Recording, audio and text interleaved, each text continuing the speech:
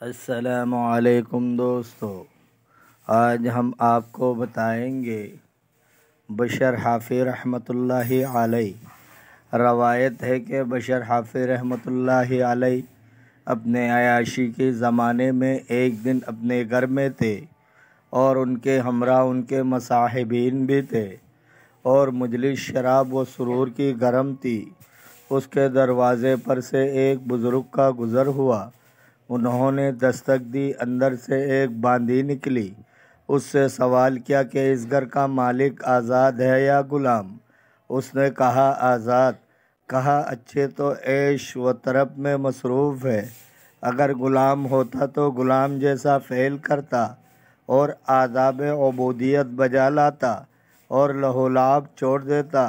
बशर हाफि रहमतुल्लाहि अलैहि ने उस शख्स की गुफ्तगु सुनी। और नंगे सर, नंगे पाँव दरवाजे की तरफ़ दौड़े। वो बुज़ुर्ग जा चुके थे। लोंडी से कहा, सच बता, तुझसे कौन बातें कर रहा था? उसने सारा माजरा कह सुनाया। बशर हाफि रहमतुल्लाहि अलैहि उसके पीछे गए और उनसे दरियाफ़ किया कि आप ही थे, जिन्होंने दरवाज़े पर खड़े होकर लोंडी से गुफ्तगु की। फरमाया हाँ। कहा, ज़रा एक बार फिर फरमाए। जो कुछ आपने फरमाया था, उन्होंने वही बात दोहराए यह सुनकर बशर ज़मीन पर लौटने लगे और कहते जाते थे, बल्कि वो गुलाम है गुलाम है गुलाम है। और नंगे सर, नंगे पाँव घूमते फिरते थे।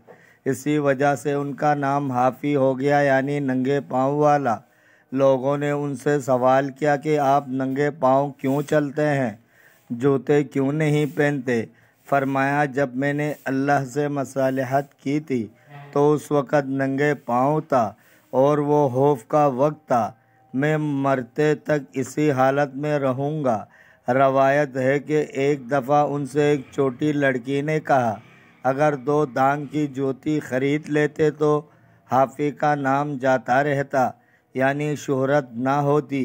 दोस्तों, अगर आपको वीडियो अच्छी लगी है तो लाइक करें, शेयर करें चैनल को सब्सक्राइब करें, अपने बहुत सारे ख्याल रखिएगा। मिलते हैं अगले वीडियो में। अल्लाह हाफिज़।